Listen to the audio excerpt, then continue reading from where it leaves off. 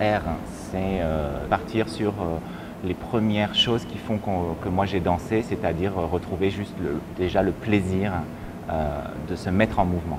Après est venu d'autres questions, comment aujourd'hui continuer à être en mouvement, comment se sentir vivant.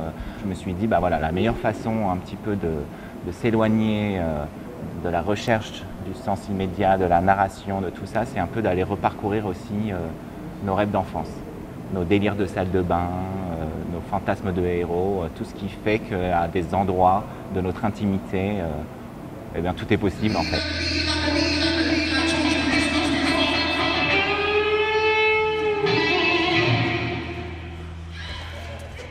l'idée c'était de repartir sur ça et de voir comment on pouvait transformer ces moments qui sont normalement des moments d'intimité qui pourraient être volés, comment partir avec les interprètes autour de ça et de les faire partager avec le public.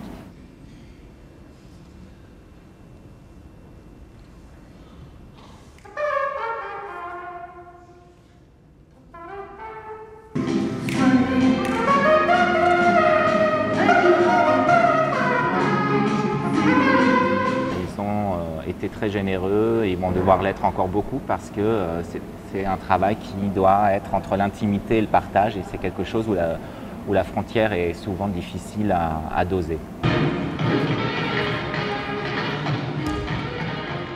L'idée que euh, si la vie euh, doit se finir par la mort et que c'est notre destin, ben, autant euh, faire tout ça avec brio, panache et que oui, pour la beauté du geste, allons-y, allons rechercher ces endroits où tout est possible, où on se sent vivant, allons convoquer cette poésie.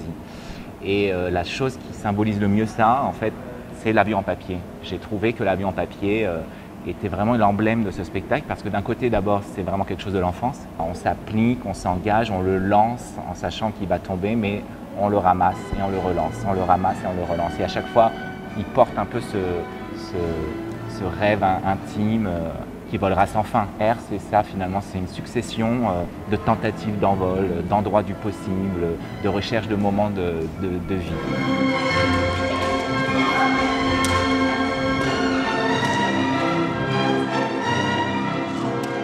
C'est vraiment une pièce accessible à tout public. Je crois que c'est un spectacle qui va beaucoup parler au ventre.